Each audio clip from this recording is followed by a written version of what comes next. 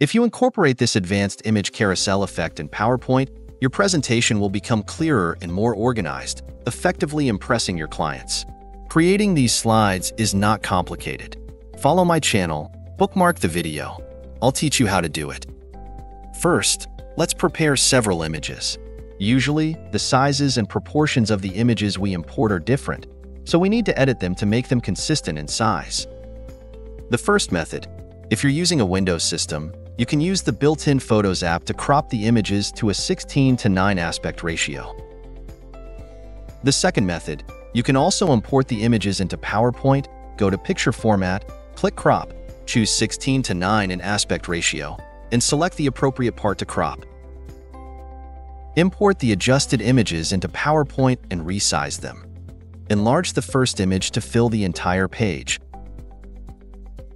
and place the remaining images on top. To make the images stand out, add a solid color mask. Insert a rectangle the same length as the page. Right-click and open Format Shape, set it to black, 45% transparency, with no outline. Then select the remaining images and bring them to the front.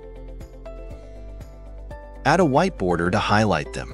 Set the outline to white with a width of 1.5 points. Adjust their sizes and distances. Align the guides with the first image for easier positioning later. Next, duplicate a page. Copy the background image. Resize it to match the other images. Place it behind and set a white border of 1.5 points. Enlarge the second image to fill the entire page. Select the remaining images, bring them to the front, and move the subsequent images to align with the guides.